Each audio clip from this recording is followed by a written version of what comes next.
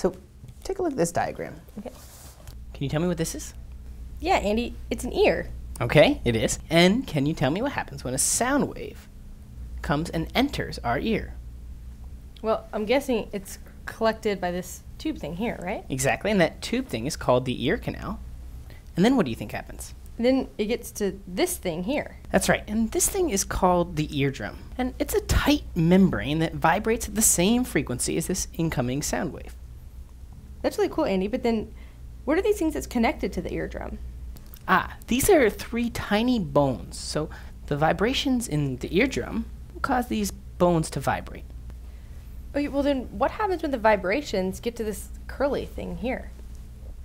Right. This curly snake like looking thing is called the cochlea. And the cochlea is filled with fluid. So when the bones here vibrate, they actually cause the fluid in the cochlea to vibrate as well. Okay, so we have vibrating air, which goes in to vibrate the eardrum, which vibrates the bones, which vibrates the fluid in the cochlea? Exactly. And lining the inside of this cochlea are thousands of tiny little hairs. And when these hairs vibrate, they cause neurons to fire.